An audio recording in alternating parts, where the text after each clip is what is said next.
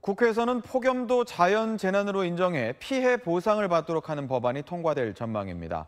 하지만 법안 통과가 이달 말에나 가능해서 당장 올 여름에 적용이 될지는 미지수입니다. 이세영 기자가 취재했습니다.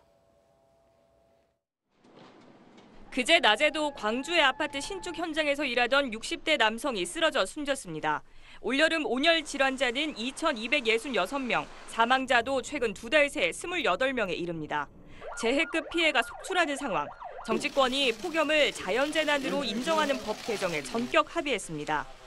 여야 3당 정책위 의장은 재난안전법에 폭염을 포함하는 개정안을 이번 달 우선 처리하기로 했습니다.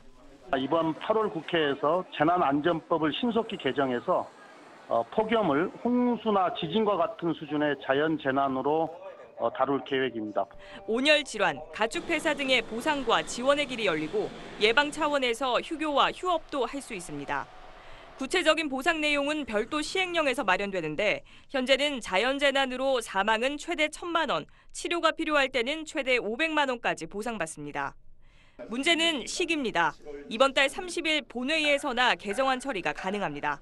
올여름 폭염이 다 끝난 뒤입니다. 여야는 겨울철 혹한도 자연재난으로 함께 명시해 올겨울부터 적용하는 방안을 추진하기로 했습니다. SBS 이세영입니다.